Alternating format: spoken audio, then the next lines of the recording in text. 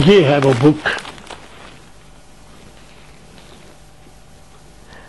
जिसमें ये वाक्य लिखा हुआ है और इसके राइटर हैं नवाज़ रहमानी और उनके बारे में थोड़ी सी मैं आपको बात बता दूँ। उन्होंने बुक के टाइटल में ये लिखा हुआ है।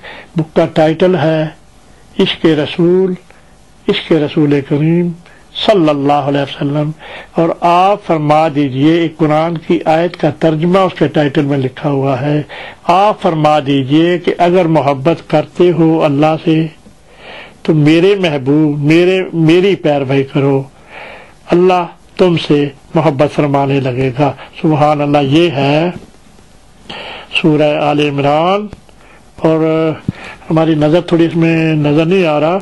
फोर्टी वन है आयत नंबर। सुबहान अल्लाह अब हमने ये जो वाक्य था, इससे पहले जो वाक्य था, हमने कुछ पहले भी किया है कि वो जो अनकबूत थी, वो जो अनकबूत थी, उसने अल्लाह पाक ने उसकी भी मुराद सुनी। वो भी मैं थोड़ा सा आपको इधर व्यू दे दूँ। अनकबूत की बारी, उसमें अल्लाह पाक ने उसकी मदद फरमाई है। जिसने मकड़ी का जाला तना था, अब कुछ हिस्सा मेरा बाकी रह गया है गारे सौर का, जो कि मैंने अभी अब निकाल के रखा हुआ है।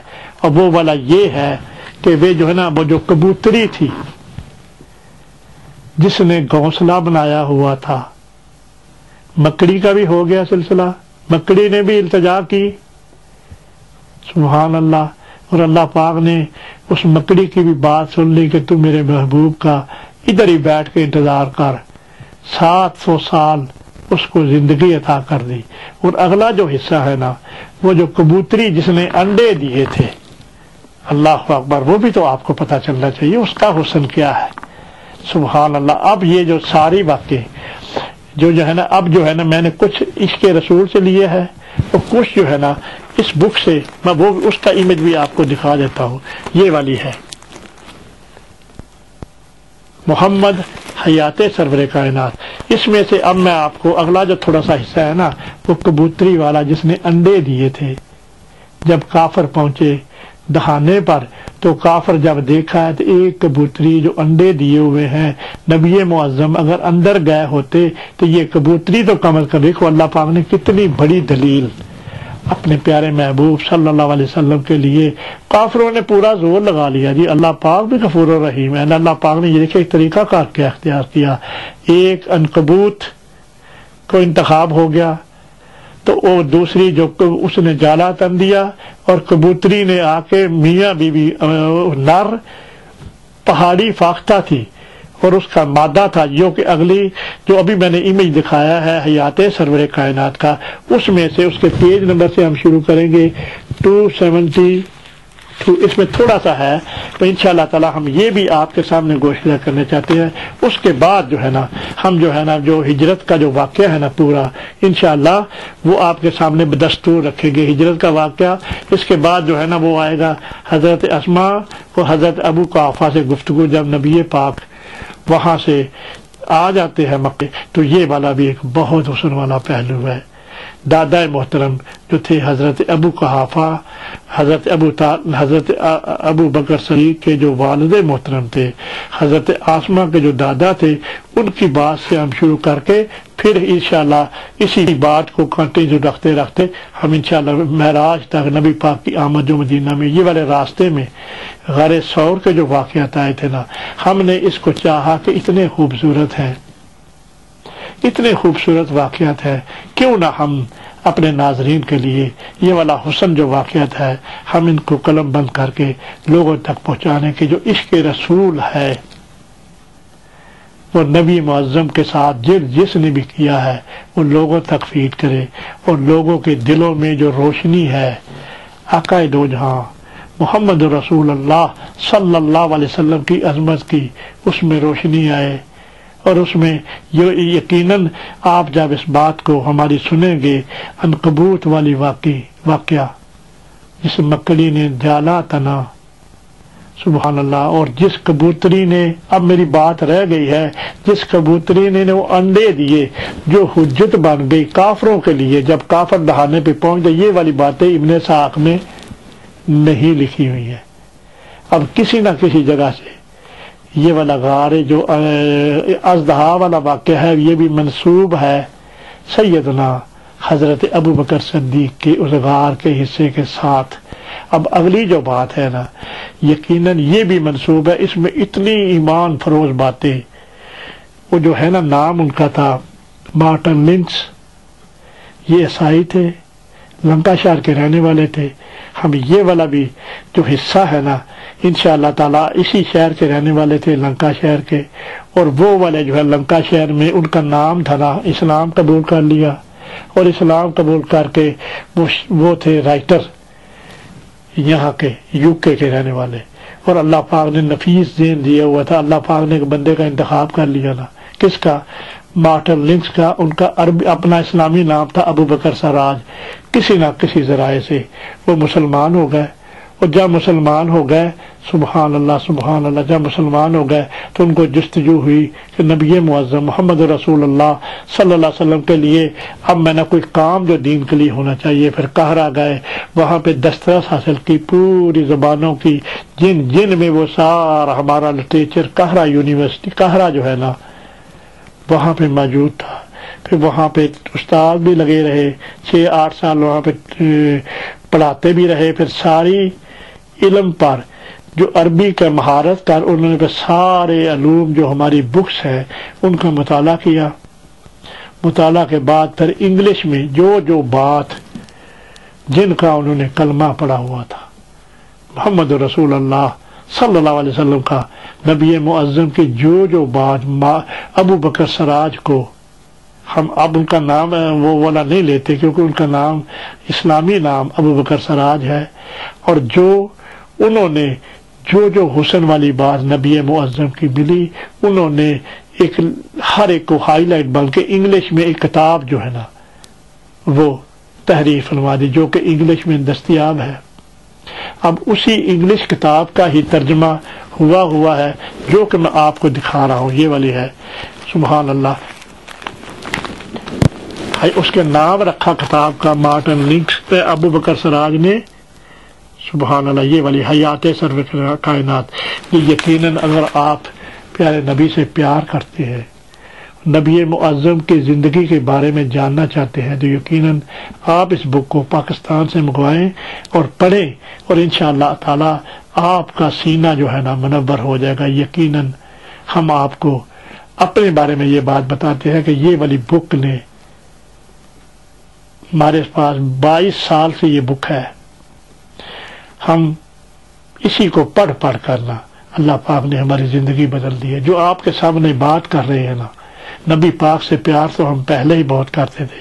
और जो जो, जिस, जिसने नबी पाक की जो बातें पढ़ पढ़ के, पढ़ पढ़ के अल्लाह पाक ने ऐसी रोशनी अता फरमाई है कि इस बुक का मैं आप लोगों को नाजरीन प्रमोट करता हूँ कि ये वाली बुक जो है ना पाकिस्तान से आप मंगाएँ, इसकी मैंने आपको कलर बता दिया, इसका पीले रंग का है।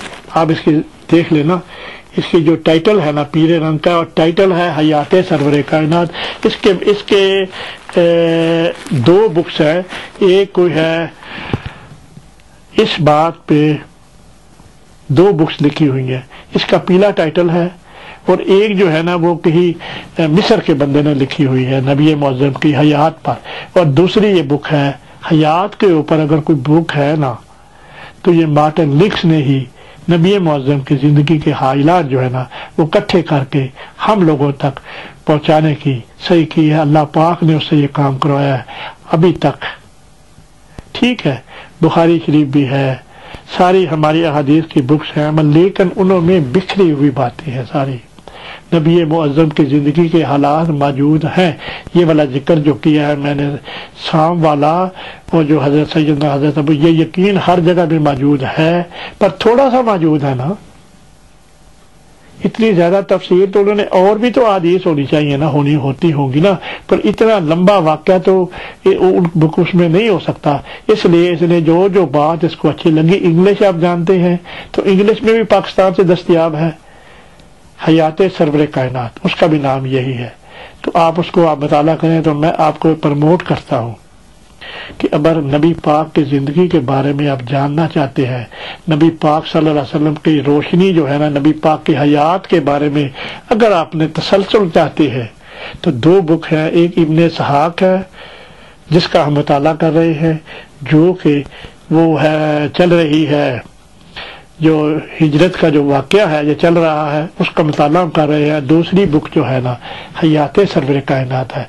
मेरे भाइयों, ये मैंने आपको इसलिए बता दिया है कि आपके अजहान और कलूब के लिए, आपके सुकून के लिए अगर नबी पाक सल्लल्लाहु अलैहि वसल्लम की ज़िंदगी के बारे में आप खास मंद हैं, चाहते हैं कि नबी मुअज्जम की ज़िंदगी के हालात जो थे जो जो उनको घड़ियाँ ज़िंदगी में गुजरी है तो फिर ये बुक जो है ना यकीनन आप इसको दस्तियाब कराने की कोशिश करें। इब्ने सहाक उसके राइटर का नाम है मोहम्मद बिन इसहाक रहमतुल्लाह और दूसरी सीरत रसूल पाक, उसका दो ही नाम है, मोहम्मद बिन इसहाक और सीरत रसूल पाक, और इसका नाम है हयात सरवर कायनात, मोहम्मद हयात सरवर कायनात।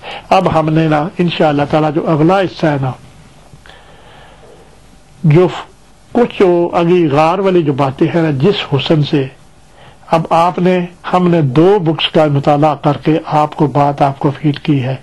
अब अगली जो बात है ना, जिस हुसन से और जिस इश्क से, वो जो आश के रसूल थे, कौन? अबू बकर सर्राज जिस मोहब्बत से और जिस इश्क से उस राइटर ने नबी मुआजम का ये गार वाले वाक़े के बारे में जो बातें लिखी हुई हैं आप इंशाल्लाह सुनेंगे तो आपका ईमान ताज़ा होगा।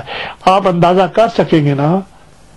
वो जो मोहम्मद बिन इसहाक और ये वाला जो वाक्य है ना इसका हम जो है ना आ, हमारे पास नहीं है कि इसके रसूल में नवाज़ रहमानी ने ये कहाँ से लिया?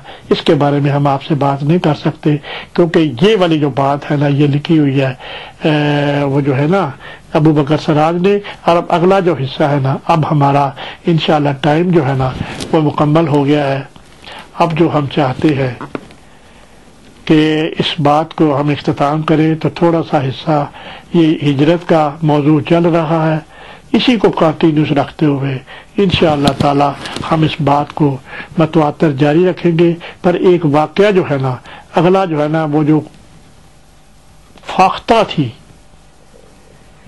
नर और मादा थे, जिन्होंने अंडे दिया हुए थे, उस जाले में जिस बकरी ने तला था ना, उसके अंदर जो जाल है, वो हजत बनी ज़्यादा। किस बात की हजत बनी? इस बात की कि नबी मुआजम अगर ये गए होते अंदर तो ये फाख्ता तो इधर मौजूद है। देखे, अल्लाह गफूर रहूम है ना?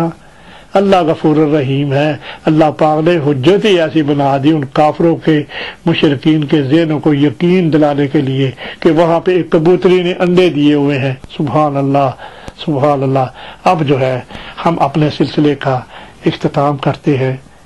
तब तक के लिए मैं अगला हिस्सा जो है ना थोड़ा सा बताऊँगा आपको कि उसमें जो हुसन वाली बातें हैं, जो कलम से निकली हुई है, अबू बकर सराज की, उसके बाद फिर इंशाल्लाह जो है ना वाक़ जो हिजरत है ना, वो वाला कंटिन्यू रखते हुए फिर आपको इंशाल्लाह ताला मदीना पाक, नबी पाक ने पहुँच जाना है, सारी बातें आस्ता आस्ता कदम कदम ज़िंदगी में एक बार बन जाए तो इंशाल्लाह नाजरीन के लिए यकीनन अल्लाह पाक हमारी मदद फरमाएगा तो ये वाली कार आमद होगी।